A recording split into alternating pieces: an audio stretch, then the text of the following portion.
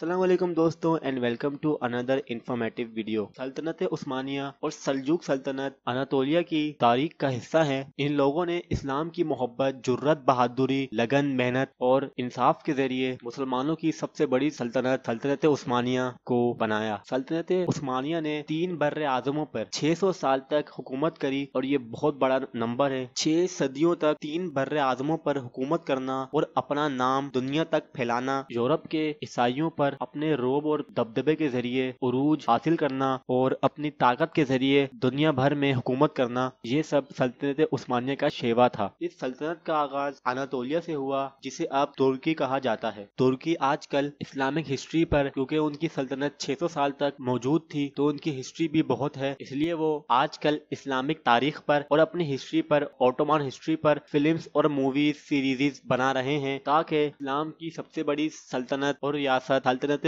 उस्मानिया के मुतालिक जानने को मिले। तो आज की वीडियो में मैं आपको Turkish five historical Islamic movies के बारे में बताऊँगा। ये पाँचों सीरीज़ हिस्ट्री पर मबनी हैं और इसमें इस्लाम के मुतालिक बताया गया है। तो ये फ़िल्म देख के आपको प्राउड भी फील होगा इंजॉय भी होंगे आप और आपको सीखने को भी मिलेगा। तो मैं आज की वीडियो में आपको ये पाँचों सीरीज़ के बारे में बताऊँगा और इन तमाम फ़िल्म को मूवीज़ को आपको कहाँ देखना है? उर्दू सब में या फिर डबिंग में या फिर हिंदी डबिंग में या फिर इंग्लिश सब में तो मैं आज की वीडियो में आपको ये सब बताऊँगा। तो वीडियो को मुकम्मल देखिएगा, हमारे यूट्यूब चैनल को सब्सक्राइब कर लीजिएगा और साथ साथ बेल के आइकन को प्रेस करके ऑल को ऑप्शन सेलेक्ट करके हमारी वीडियो को लाइक कर लीजिएगा। पहली इस्लामिक हिस्टोरिकल मूवी का नाम है the battle of empire Fetih 1453 इस मूवी में सुल्तान महमद फतेह कॉन्क्योरर बाजंतीन एम्पायर के शहर कुस्तुन दुनिया पर हमलावर होते हैं और बहुत ही शानदार जंग के ज़रिए इस शानदार और खूबसूरत शहर को फतह करते हैं और बाजंतीन एम्पायर का हमेशा के लिए खात्मा कर देते हैं। तो इस सीरीज़ में बिल्कुल यही बताया गया है उस जंग के बारे में कि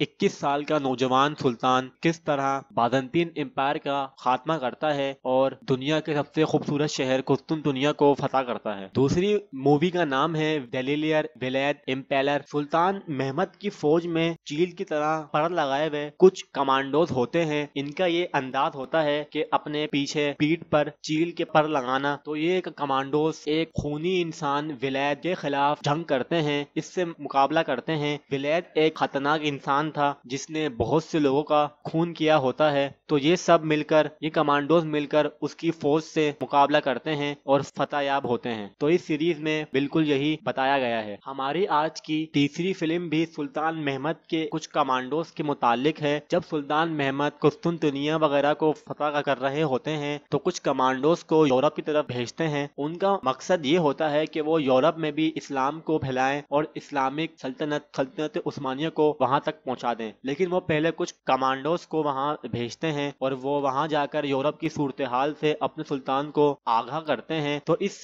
फ़िल्म में इन कमांडोज के मुतालिक बताया गया है कि वो यूरोप के सलेबियों से किस तरह मुकाबला करते हैं और फतेहयाब होते हैं। आज की हमारी चौथी फ़िल्म सलजूक सल्तनत के मुतालिक है। इस फ़िल्म का नाम है दिरीनस कराते इस सीरीज़ में ये बताया गया है कि जब सुल्तान अलाउद्दीन केकोबाद का इंतकाल होता है तो उनके बेटे गयासुद्दीन तखनशीन हो जाते हैं, लेकिन वो इतने मज़बूत नहीं होते और उनकी सल्तनत आहिस्ता आहिस्ता पस्ती की तरफ़ जा रही होती है और मंगोल आहिस्ता आहिस्ता सलजूक सल्तनत को खा रहे होते हैं। तो इसीलिए उनका एक कमांडर जलालुद्दीन कराते कुछ सिपाहियों के साथ मंगोलों से मुकाबला करता है और अपनी सल्तनत को टूटने से बचाता है। तो इस फ़िल्म में दीनत कराते में जलालुद्दीन के बारे में बताया गया है कि किस तरह अपनी सल्तनत को मंगोलों से और दूसरे दुश्मनों से बचाता है और गयासुद्दीन का तख्त भी बचा लेता है। आज की हमारी पांचवी और आखिरी फ़िल्म हिस्टोरिकल नहीं है, लेकिन इसमें तुर्किश फौजियों के बारे में बताया गया है। इस फ़िल्म में कुरुलस उस्मान के मेन के किरदार उस्मान, जिनका असली नाम बुराक ऑसिविट है, वो इस फ़िल्म में नुमाया किरदार अदा करते हैं। तो इसमें दो फौजियों के मुतालिक बताया गया है कि वो किस तरह अपनी कंट्री को, अपनी होमलैंड को बचाते हैं और अपने दुश्मनों को नेस्त तो नाबूद करते हैं। तो इस सीरीज़ में इन दो फौजियों के मुतालिक बताया गया है। तो इस मूवी को भी आप देख लीजिएगा। इन सब मूवीज़ का लिंक मैं आपको डिस्क्रिप्शन में दे रहा हूँ। मेरी वेबसाइट पे ये मूवीज़ अपलोड हैं। ये सारी मूवीज़ हमारी वेबसाइट पे इंग्लिश सब